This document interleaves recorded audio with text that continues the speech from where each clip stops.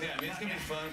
So Uh, now it's, cra- it's crazy, and I haven't been there for a long time. Yeah, I haven't been there in a long time. What was it? 96 was the last one. Yeah, I didn't do it for a long time. It's, What was different between uh, between back then and now? well, back then, You feel different? yeah, I was a little. I mean, I was younger, obviously, and now, What are you you know, watching? when I pee, Yeah. I have to like Guy kind of sit there and wait at the urinal because there's always a little extra.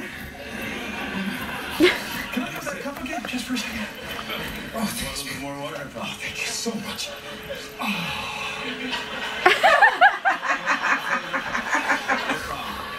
oh Kleenex too, please.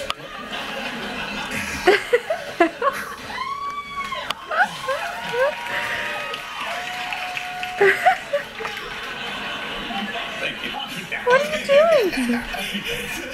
That's wild. Uh, hey, so, I did.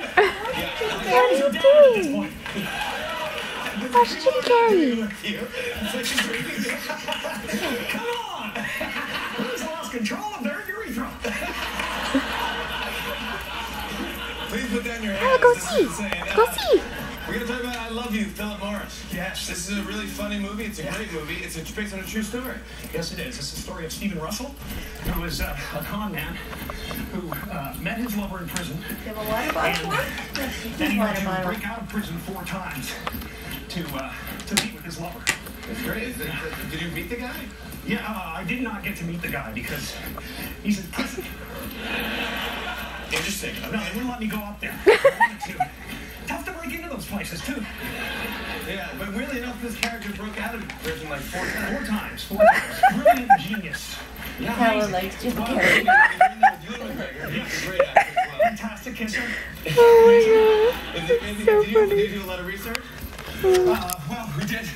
We did hit the uh, the gate clubs when we got to Miami. Yeah. It's pretty crazy. What? Was that it? You was all Tired. cocky with the method and stuff. And he's like, I'm gonna get my ear pierced. You know, because I got a tattoo